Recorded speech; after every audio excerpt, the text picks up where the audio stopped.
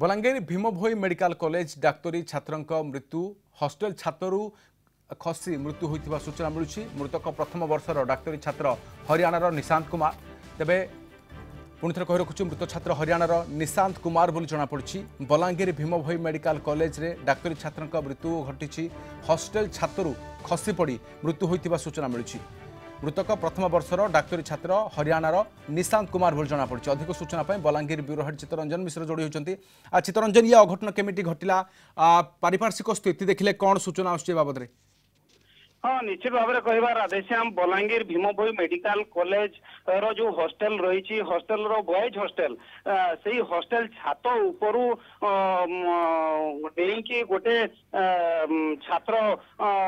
ଡେଇଁଥିବା ଯାହା ସୂଚନା ରହିଛି ଏବଂ ଆମେ ଯୋଉ ସୁରକ୍ଷା କର୍ମୀ ରହିଛନ୍ତି ତାଙ୍କ ସହିତ କଥା ହେଇଥିଲୁ ସେ କହିଥିଲେ ସାତ ମହଲା ଛାତ ଉପରୁ ଯିଏ ନିଶାନ୍ତ କୁମାର ନାମକ ଜଣେ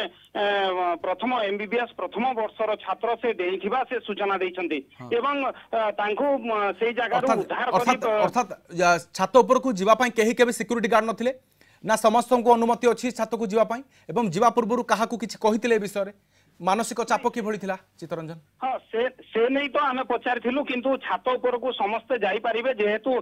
ছাত খোলা অছি এবং উপর মহলাকু যাইতিলে এবং উপর মহলারু ছাতরু ডেইঁথিবা যাহা সুরক্ষাকর্মী কইছন্তি এবং যোউ জায়গাকু ডেইঁথিলে সেই জায়গারে মধ্যে তাঙ্কর সহপাঠী তিন জন থিলে এবং সুরক্ষাকর্মী নিকটরে থিলে তলে যোউ জায়গারে পড়িথিলে সেই নিশান্ত কুমার ডেইঁকি পড়িথিলে সেই জায়গারে তো বর্তমান সুদ্ধা স্পষ্ট জনা পড়ি নাহি ଛାତ ଉପରୁ